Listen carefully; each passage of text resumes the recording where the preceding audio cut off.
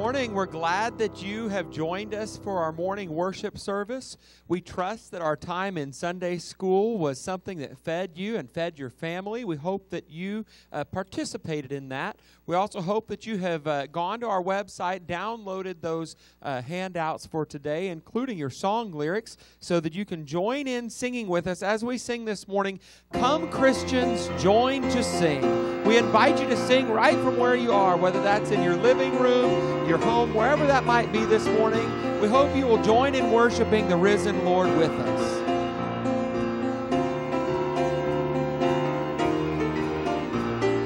Come, Christians, join to sing.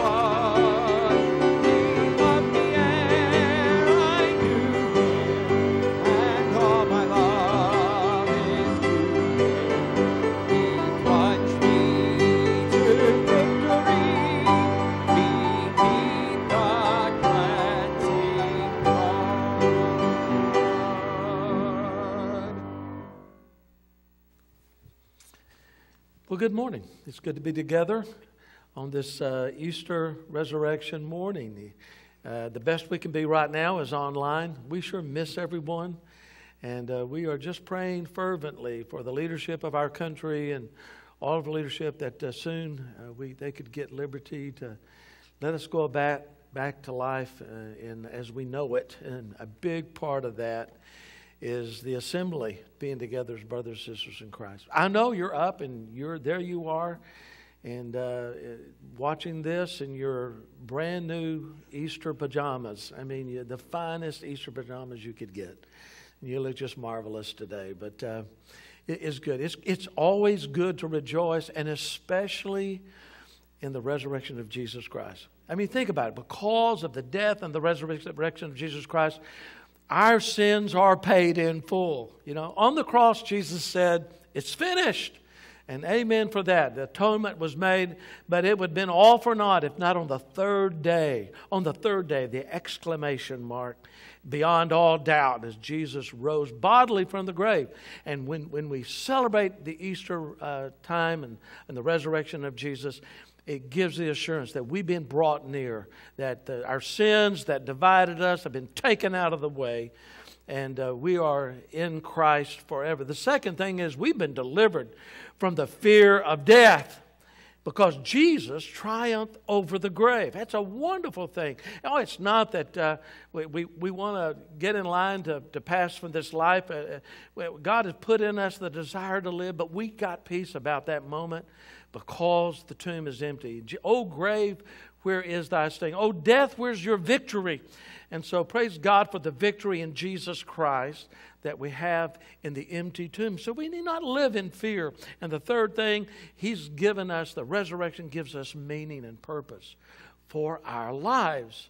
And so we live each day. Each day could be the day that Jesus comes back because the tomb is empty because he's ascended to the right hand of his Father. One day we know for sure that he's coming again. Listen, the challenge of the resurrection is to live every day with the awareness that Jesus Christ lives. And the thing about it is, he lives, but he also lives in us. He lives in your heart, and he lives in my heart. And all of these are great reasons to rejoice in the resurrection of Jesus Christ. We're so glad we're together and we're going to worship. I appreciate uh, the good music and you join in as we sing. Uh, pray for our nation. Pray for uh, those people worldwide who are still here in the States, the, uh, the death count and those who have contracted this virus. Pray for those families. Pray for those families whose lives have been touched by the death of loved ones. That's, that's a difficult thing. Pray for our president, who carries a very heavy load guiding our nation. Pray for our national, state, county, and city leaders as well and the difficult uh, decisions that they face. Pray for our, our, our families that um, are affected by no income in some cases, their income is cut in half. Uh, pray for uh, the doctors, the nurses, the, those who are on the front line. Pray for all of our uh, firemen and our policemen and our military who are also helping with this uh, pandemic and for our safety. And we are thankful for them.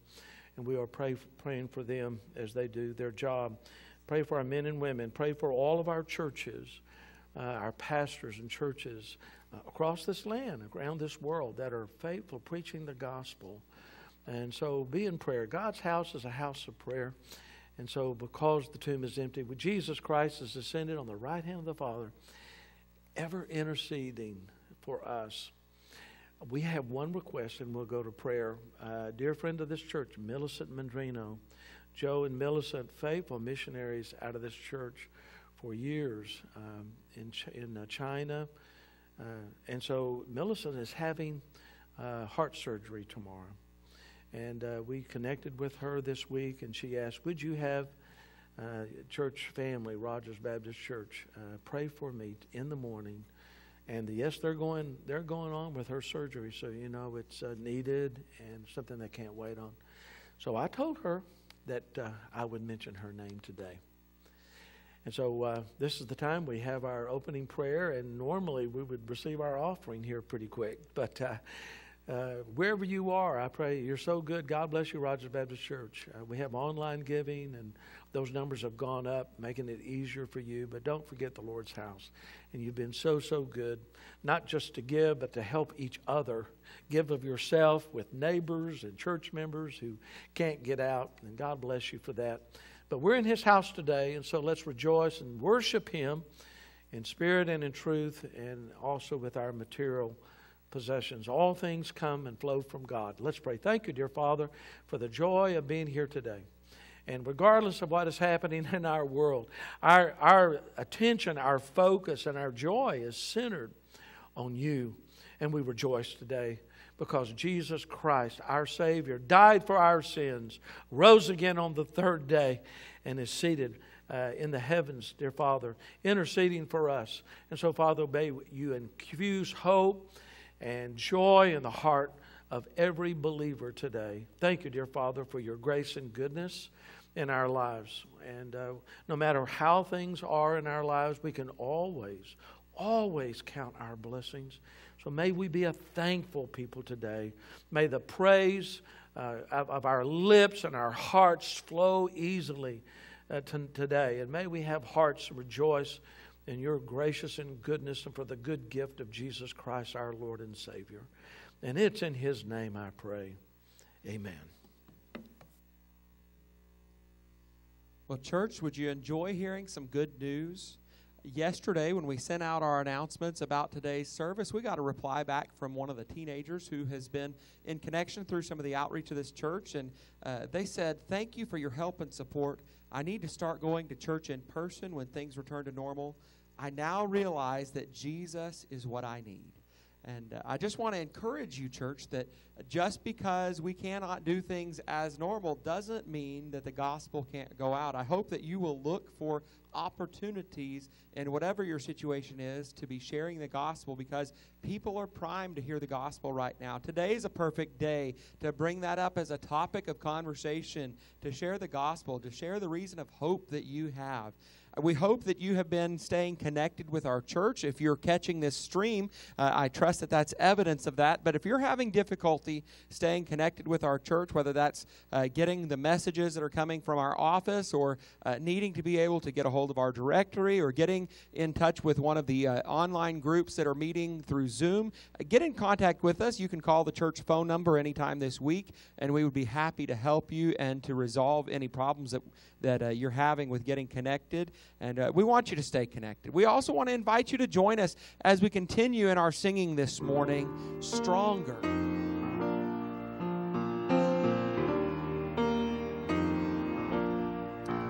There is love that came for us, humble to a sinner's cross. You broke my shame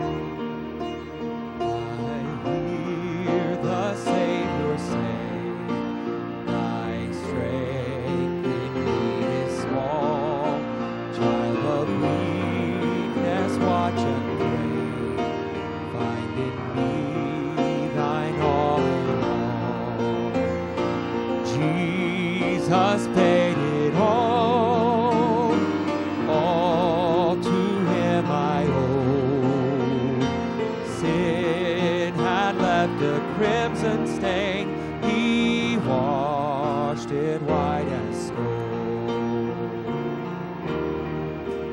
Lord, now.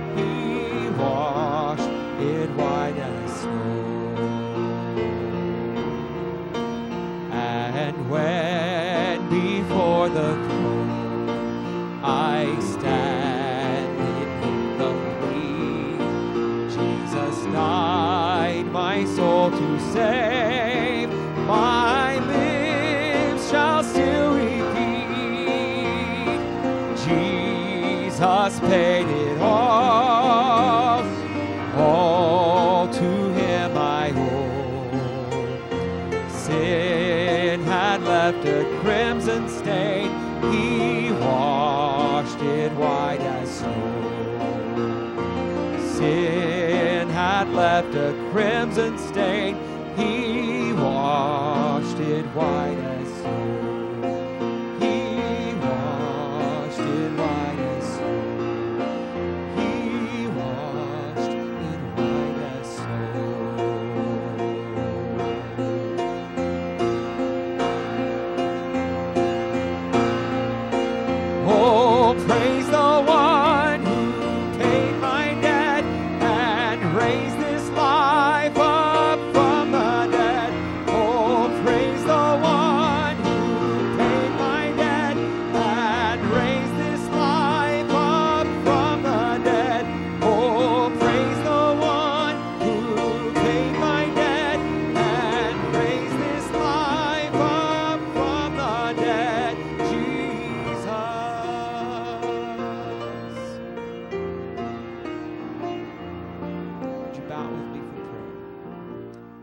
Heavenly Father, Lord, we thank you for the promise of the resurrection. Lord, not that it leaves us without the uh, temptation to sin, but Lord, that it leaves sin powerless over us.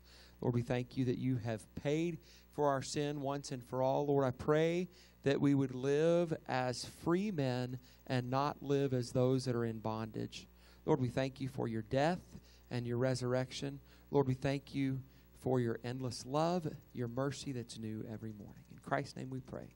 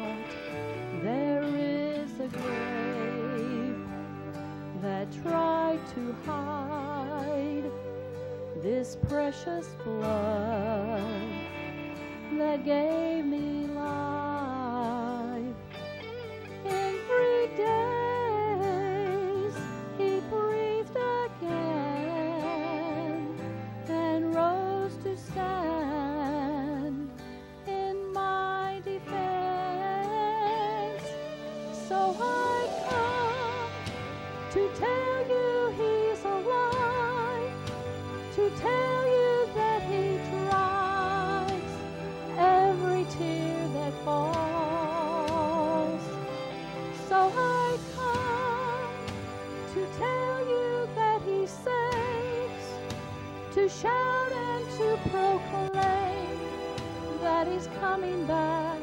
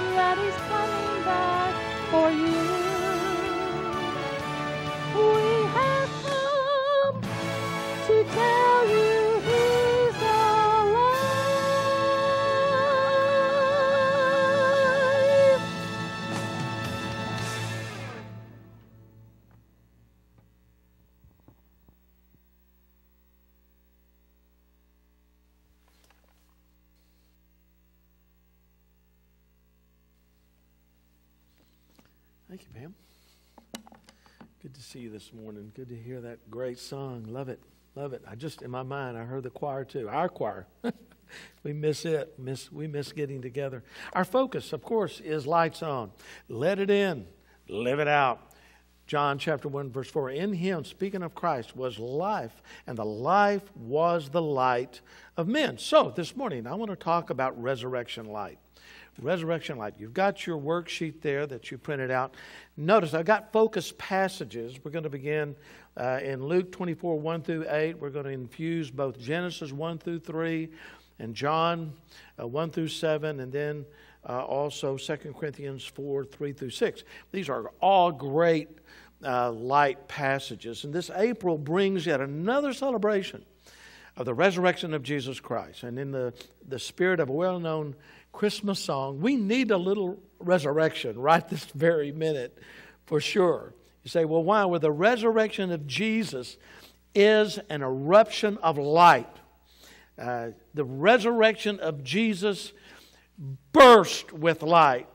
Jesus himself is light. Uh, Jesus proclaimed in John, I am the light of the world. And certainly, that includes the resurrection. Well, praise God, light dispels the darkness, even pandemic darkness. I mean, for weeks we have been inundated with a continuous stream of bad news of a global catastrophe. Tens of thousands of people around the world have died as a result of the uh, pandemic. And this, this virus has brought misery, it's brought pain on many more, those who are, have been laid off and uh, those who are homebound. And it's, it's been a very difficult trial for a lot of people. And yet, and yet my mind goes to the words of Peter at Pentecost in Acts chapter 2, verse 24, who said that God raised up Jesus, uh, ending the pains of death, because it was not now, think, think, it was not possible for him to be held by it. The chains, the bonds of death could not hold him back. And so today, today we join our voices with Peter and affirm that it isn't possible for anything to keep us from celebrating and rejoicing in the truth of the resurrection of Jesus Christ. And so this morning, once again, the weary world rejoices. Sometimes we forget that we stand on the shoulders of past generations of Christians who have faced every hardship, malady, catastrophe imaginable, and they did so with their faith intact.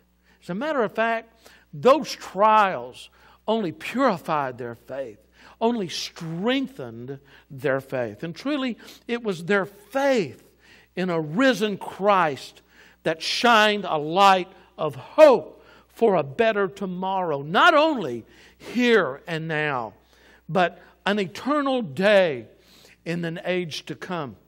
The light of the resurrection shines throughout the pages of world history.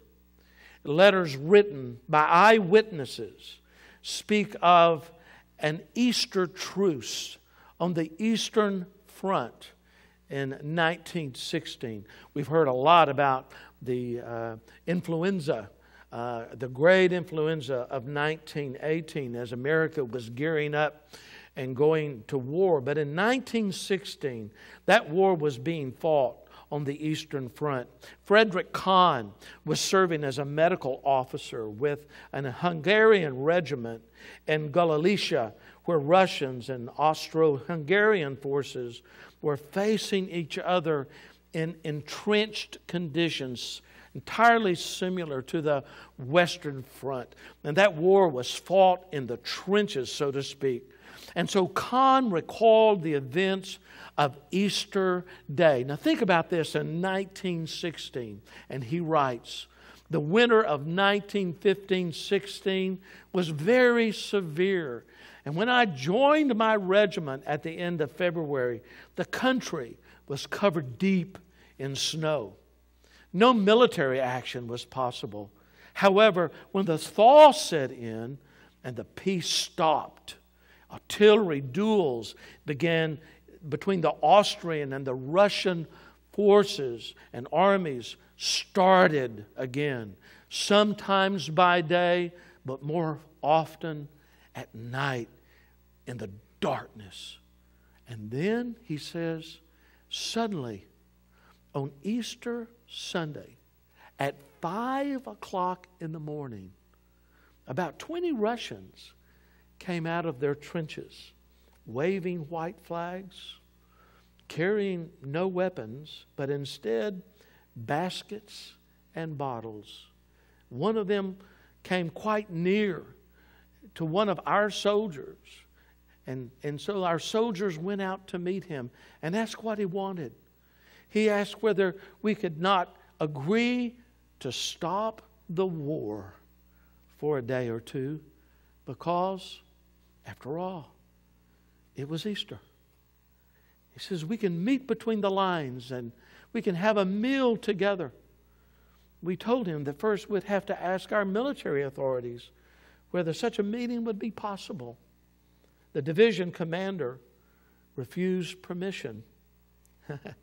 Nevertheless, at 12 noon, the Russians came out of their trenches and brought with them their military band, who came playing full strength. And they brought baskets of food and drink, and we came out too and had a meal with them. We also brought food and drink to offer them. During the meeting, both sides seemed to be a little embarrassed, but both sides were polite to each other and consumed the food and drinks we offered each other. So after, after a few hours, we all quietly went back to our trenches.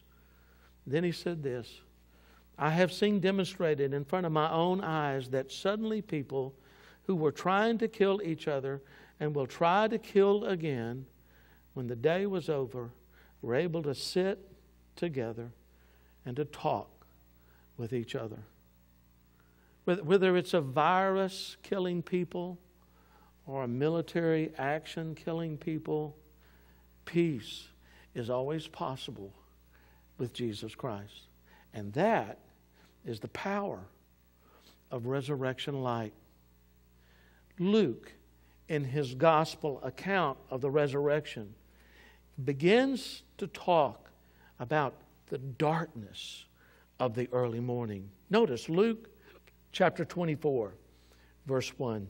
Now, upon the first day of the week, very early in the morning, they came into the sepulchre bringing the spices which they had prepared, and certain others with them. These women, namely Mary and Mary Magdalene, were moving toward the tomb where Jesus' body was hastily laid late Friday afternoon. It was Sunday. It was the first day of the week. For the Jews, it was the day after the Sabbath. This was considered the third day since the resurrection and burial on the previous Friday noon had taken place. Luke makes it clear that the women began their trek to the garden tomb very early in the morning. And they came with fragrant spices, especially that are used for embalming the dead. And I'm thinking uh, of Mary as she anointed Jesus with that, those spices on the eve of Passion Week in, in lieu of his burial, this very moment. And they brought those spices. They arrived early to provide whatever additional care they could provide for the body of Jesus. Verse 2 And they found the stone rolled away from the sepulchre. What? That was strange. I mean, something wasn't right. The, the stone covering the mouth of the tomb, we know, was large and it was sealed, by the way, and guarded by Roman soldiers. Why would the tomb be open? How was the stone, stone rolled away under such circumstances? What has happened here? They thought. Verse 3 And they entered in. Wow. They entered in that tomb and they found not the body of the Lord Jesus. An already dark morning suddenly grew darker. They entered the tomb. They, they couldn't find Jesus' body, it was nowhere to be seen. Verse 4 And it came to pass, as they were much perplexed thereabout, behold, two men stood by them in shining garments. That word perplexed, of course, means confused. It means anxious. Be very concerned. that the, the darkness of sorrow and grief of losing Jesus is now compounded by the emotions of fear and despair. And yet, something even more profound had happened. The darkness of the tomb was pierced suddenly by radiant light. Two men stood beside Mary and Mary Magdalene. These heavenly messengers were clothed in brilliant light, and as they were, it illuminated the sepulchre. It's interesting that Greek word translated shining in our text speaks of a flashing light like a bolt of lightning. That happened just not very long ago as we were out in the, the churchyard and the storms were making themselves known. A similar Greek word is, is used to describe Jesus' clothing at his transfiguration. In Luke 9 29, Luke tells us that, that Jesus took Peter, James, and John to a mountain to pray, and as he prayed, the fashion or appearance of his countenance, his face was changed, and it says that his raiment, his clothes became white and glistening. The angels and their garments were shining, you see, with Shekinah glory of God, just like the transfigured Jesus. Now think about that special morning. Verse 5 begins, and as they were afraid and bowed their faces to the earth. Now we just see in our minds.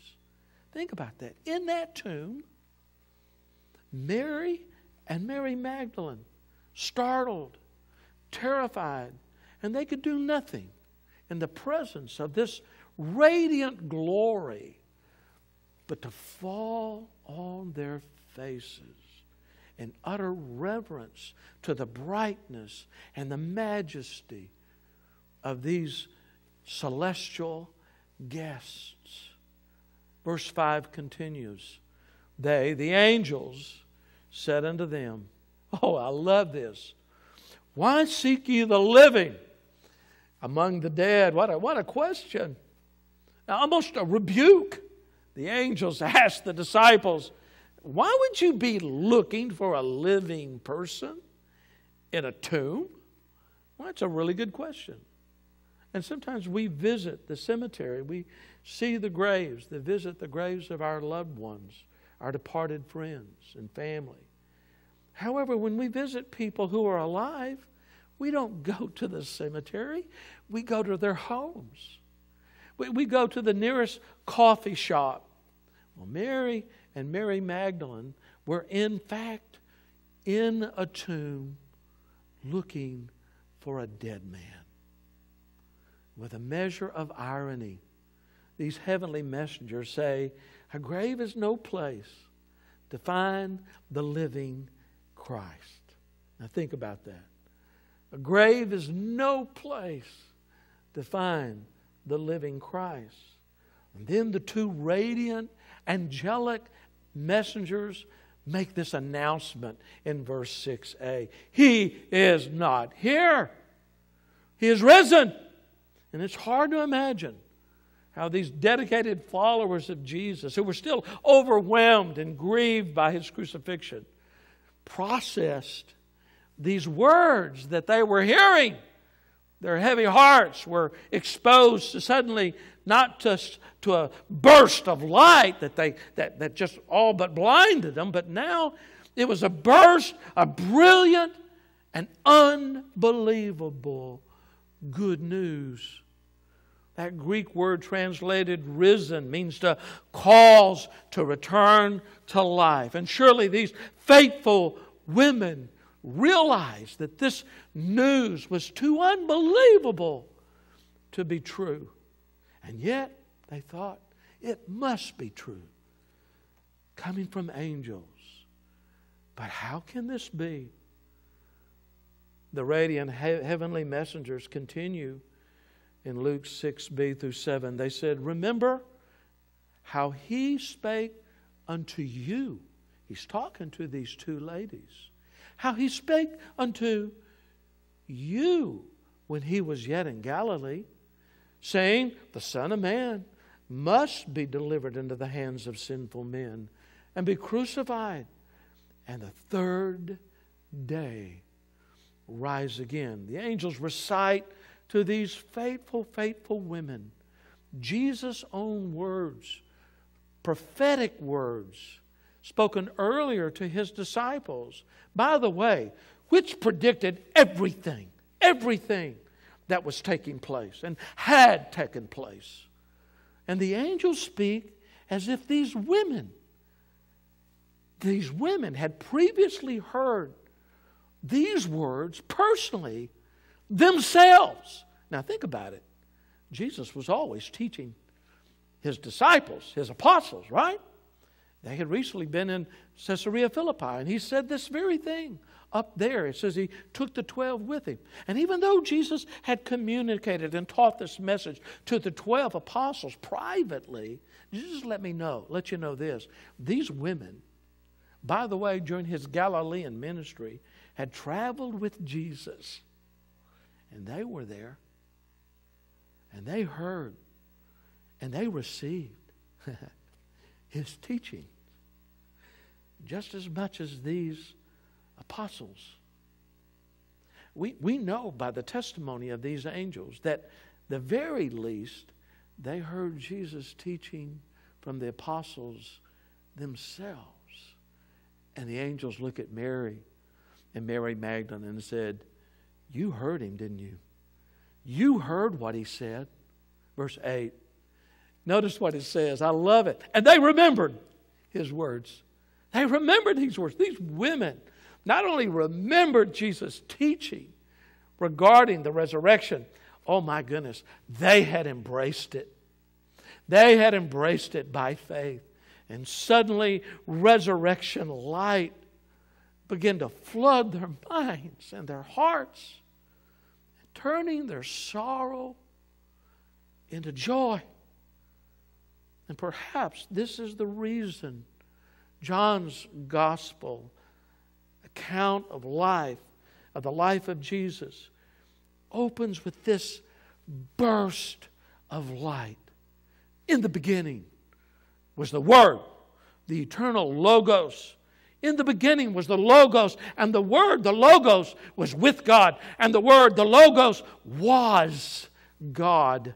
The same, look at this, was in the beginning with God. All things were made by Him, without Him not anything made that was made. So before the universe, as we know it now, existed God the Father, God the Son, God the Holy Spirit dwelt together in holiness and light of holiness and fellowship and unity. I mean, these angels, they are angels of the presence, you see.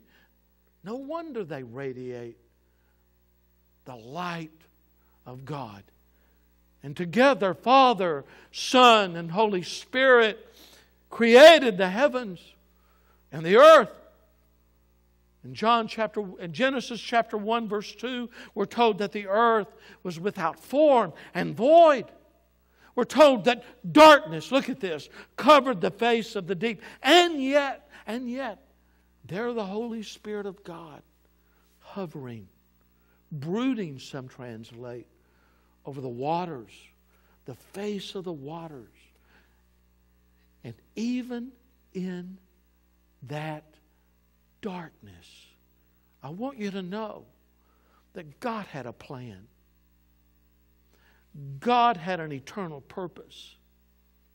Just yesterday, April the 11th, 2020, Queen Elizabeth said these words. She said, We know that the coronavirus will not overcome us, she said. As dark as death can be, light and life are greater. That's what she said. I'm amazed. It was so. It was so in the empty tomb. It was so in the beginning of creation. We must never forget. Now, listen to me. In this dark hour, we must never forget that God's sovereign purpose is alive and active. In the good times, yes, but also in the bad times. You know, I say, especially in the bad times, in the light and in the darkness. And then in Genesis chapter 1 and verse 3, God seizes the moment and he speaks those wonderful words Let there be light. What happens? God illuminates the darkness as he begins to bring order to the chaos. The earth was to become habitable as God's eternal redeeming purpose was going to be accomplished here. Of all the billions of galaxies, of all the countless planets in the universe, it amazes me that God chose this little green orb called Earth, planet Earth, to display His redemptive purpose his grace and His love. God's eternal, eternal purpose, and I say it often, is to procure to Himself a people who will love Him by choice because love must make a choice. John, the beloved apostle, lets us know that God's pronouncement of light is consistent with his divine immortal character. Notice in 1 John 1 5, John, who also writes the gospel, writes in his letter, This then is the message which we've heard of him and declare unto you that God is light, and in him is no darkness at all. Someone has said the most precious light is the one that visits you in your darkest hour. Are you looking for God's redeeming light in your dark and difficult trial today? God's light visited Hagar in the desert. God's light visited the Hebrew children there in that fiery furnace. God's light visited the lion's den as, as Daniel was cast there. Listen, God's light visited the two Marys, and they were in that dark tomb of a cemetery. And God's light can visit you today. Sad to say, the record of Genesis 3 goes on to tell us that the darkness returned. Satan entered the Garden of Eden in the form of a serpent. He dangled the carrot of self determination and self will and selfish ambition of having God like prerogatives. Adam and Eve then plunged humanity into the depths of spiritual darkness, alienating them from God's light. And although they were created in God's own image, Adam willfully, listen, he willfully chose the depths of darkness and sin and disobedience over a light, a life of light and love and submission to the Creator. And sad to say, people are still making that choice today.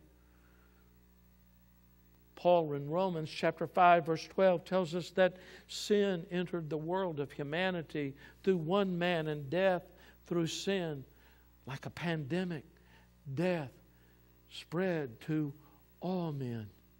because all have sinned. But hallelujah, God didn't leave us in the darkness of our sin. Can I hear an amen? Yes, the earth was without form and void, but, but God had just begun. He didn't leave this earth in darkness. He didn't leave the tomb in darkness, you see. And even though Adam and Eve hid, as it were, with guilt and shame from God, yet God cried out. And God, like light, reached out with His reconciling grace. Man doesn't seek God, God seeks man. Genesis 3:15 Now that great great chapter we've recorded the first expression of the gospel of Jesus Christ. Speaking to the serpent he said and I put enmity between thee and the woman between thy seed and her seed. It'll bruise thy head but thou shalt bruise his heel. I just want you to know that God from our perspective God is saying to humanity you may have fallen by the seed of the serpent into the darkness of sin. But though the seed, of, but through the seed of woman, I am going to send the light of my Redeemer. The light. When my Redeemer comes, he'll crush the serpent's head. Oh, it'll cost him the Redeemer's head won't be crushed, but the serpent will strike his heel. And for a moment, it'll seem that Satan, the serpent, and his seed has extinguished the light of redemption. But no. On the third day, on the third day, the light of the risen Savior will shine.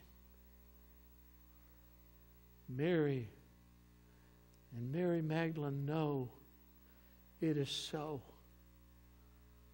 Speaking of the Lord Jesus, John the beloved apostle writes in John 1 4, and it's right up here on our wall. In him was, speaking of Jesus, in him was life.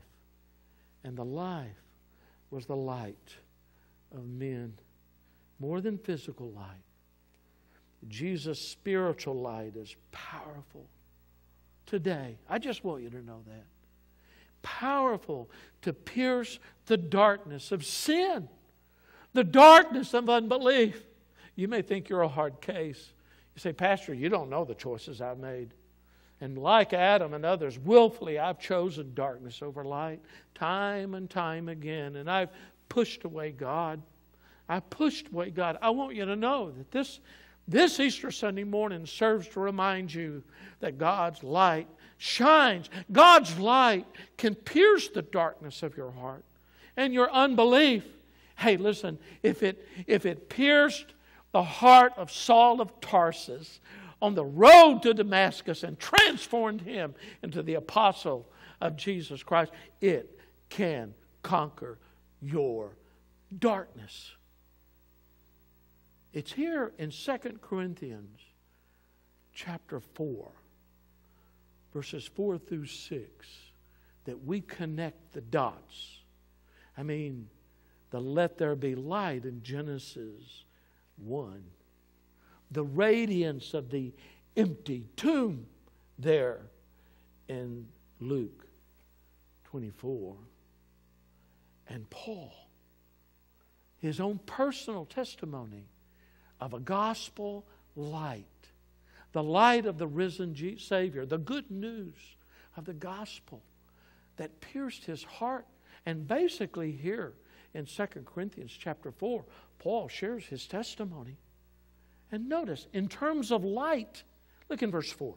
Paul writes, In whom the God of this world, or Satan's seed, the serpent's seed, hath blinded the minds of them that believe not lest the light of the glorious gospel of Christ, who is the image of God, should shine unto them. For we preach not ourselves, but Christ, Jesus our Lord. And ourselves? Nah, your servants for Jesus' sake. Well, Paul, why? How did this happen? And in verse 6, his own personal testimony. For God, who commanded the light to shine out of darkness. Now look at this. Hath shined in our hearts. Just like it pierced the darkness of the waters in the deep in Genesis 1. Just like it pierced the tomb of Jesus, it pierces and shines in the hearts, the dark hearts, and the heart of Saul of Tarsus. Notice he says, to give the light of the knowledge of the glory of God in the face of Jesus Christ. How amazing that as the enemy of Jesus Christ, Saul of Tarsus was transformed by the light of the gospel. Listen, the same light and life of Jesus Christ can still transform a light, a life of chaos into one of order, a life of dead religion into a living relationship with God, a life motivated by selfish ambition into a selfless life, serving all humanity. That's amazing. It's amazing. In the Gospel of John, chapter 1, verse 6 and 7, John, the beloved apostle, speaks of John the Baptist, who came bearing witness, telling the truth concerning Jesus Christ.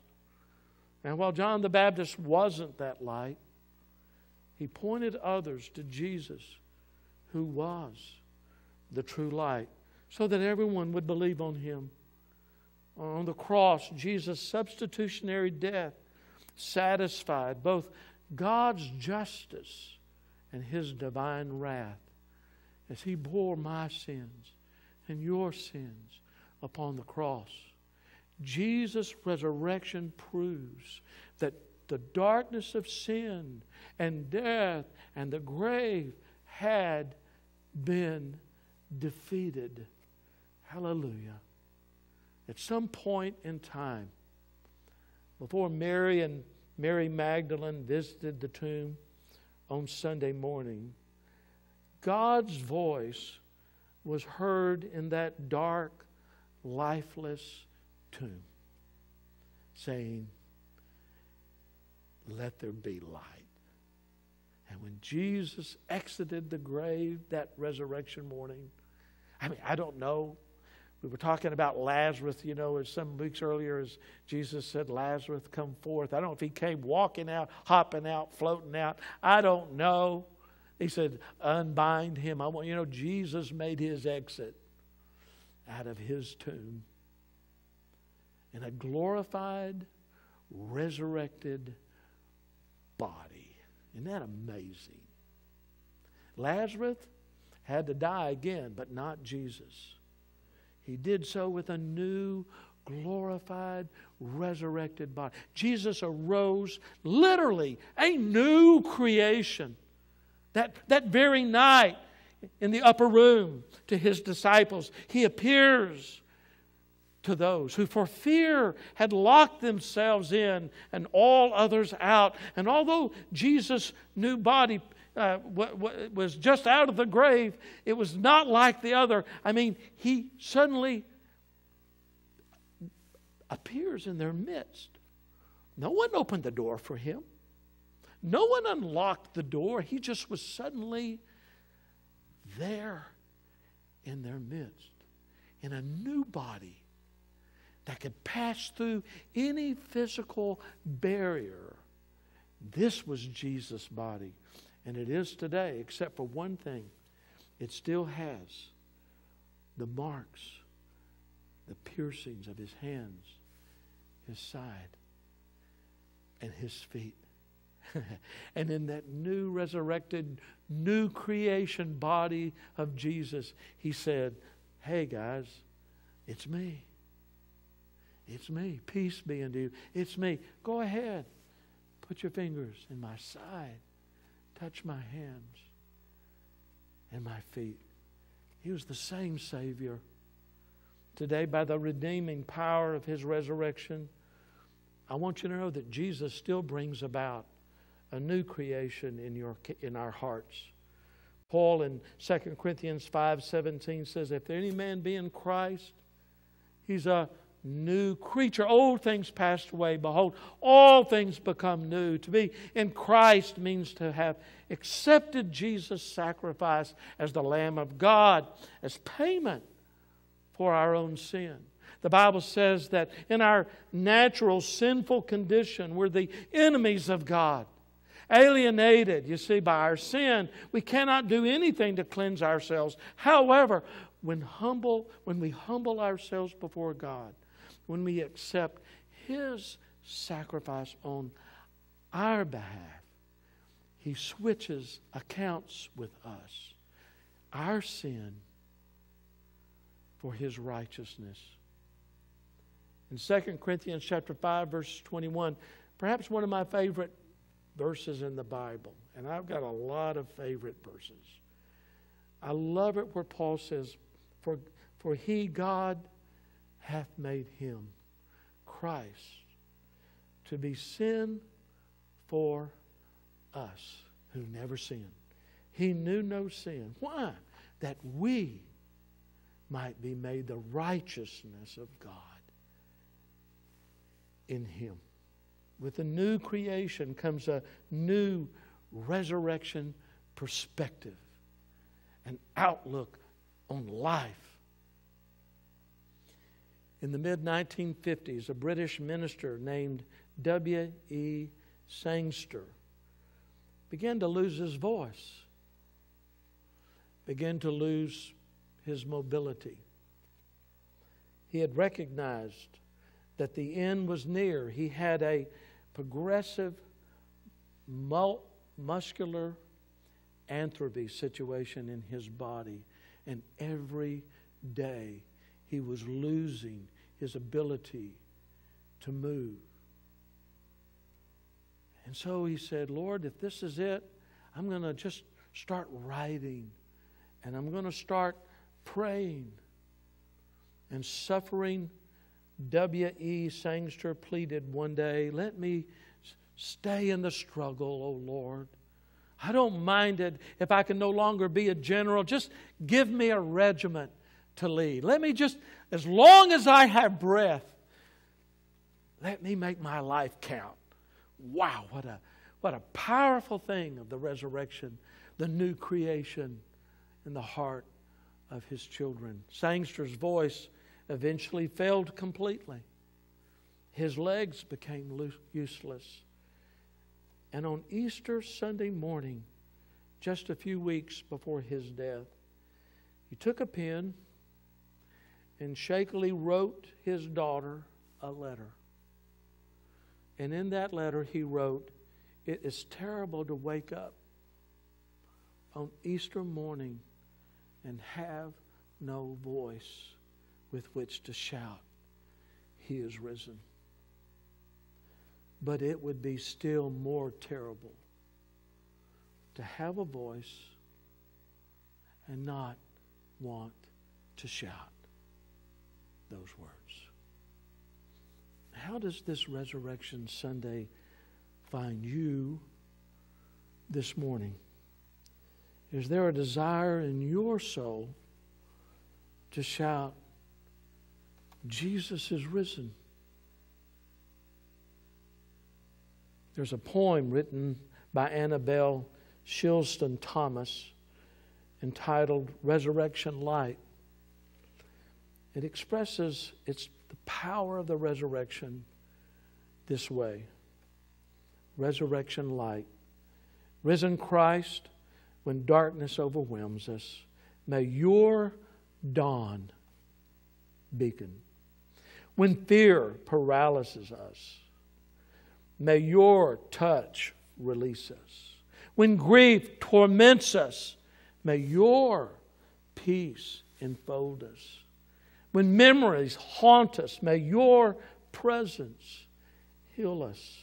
When apathy stagnates us, may your anger, when anger ignite us, but when your memories, when your justice fails us, may your anger ignite us. When apathy stagnates us, may your challenge renew us. When courage leaves us, may your spirit inspire us. When despair grips us, may your hope restore us. And when death threatens us, may your light lead us. Amen. Resurrection light will bring you hope, will bring you joy, and will bring you peace as you wrap yourself in Jesus' light. This morning, I would ask you where you sit, wherever you are, are you in the darkness of sin and rebellion against God?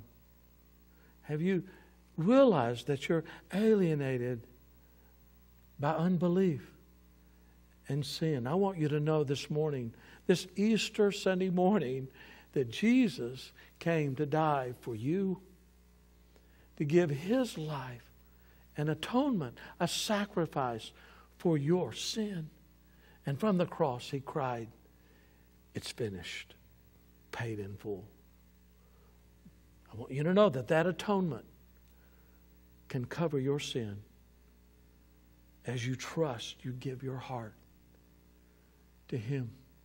On the third day, Jesus rose again so that our lives can have a new creation. You see, when you trust Christ, you see differently, you hear differently, you, you have different values and thoughts. Your, your life turns from the darkness to the light of His righteousness. And I pray that if you have not received what Christ has to offer, there's not a better time than on a Resurrection Sunday morning to give your heart to Jesus Christ. He'll change you when you invite Him into your heart. The, the light that would pierce, as it were, the, the darkness of the tomb of your heart and life, like Paul in the face of Jesus Christ.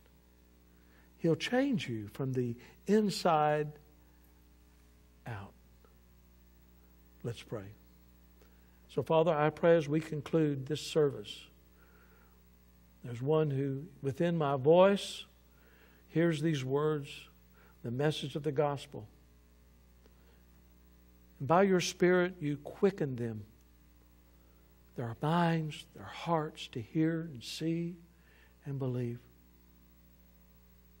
To trust in you. I pray that right now they'll say, Yes, I believe Christ came and died for me, and that he was buried, and that he rose again for me. And I want his resurrection light to pierce my heart and my soul. Father, I know that by your Spirit, you're still in the act of recreating and creating hearts and lives to serve you. I pray that this morning that will happen. Lord, may your children this day rejoice. May we walk in your light, and you may attest, be a testimony through us of what you can do in every heart. Thank you. We praise you, Jesus, our risen Savior, and it's in your name I pray. Amen.